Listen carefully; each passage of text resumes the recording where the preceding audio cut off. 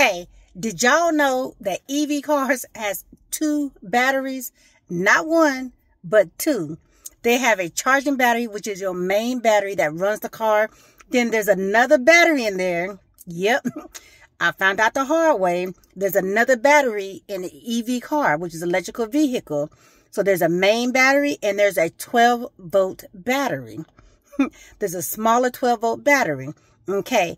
If you don't have any accessory lights, your car won't come on and your car won't go into reverse drive or neutral.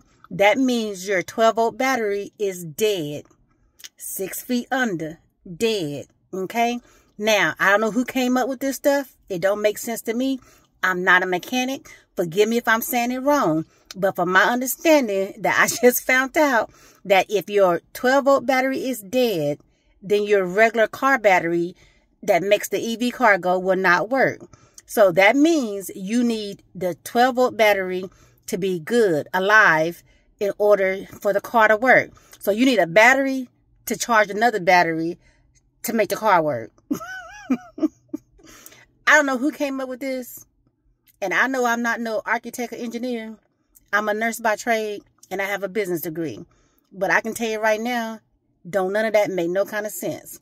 But if you're new to the rideshare game and you're new to the EV scene like me, you need to be aware that there are two batteries in an EV car and they both can't be dead or you will not be going anywhere.